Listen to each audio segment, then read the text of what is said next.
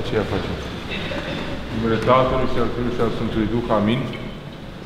Împărate Ceresc, Înghietorule, Duhul adevărului, care pretutindere și pe toate le primești, Istierul bunătăților, dătătorile de viață, vino și te sălășluiești într noi, ne curățește pe de toată înțelepciunea și mântuiește bunele sufletele noastre.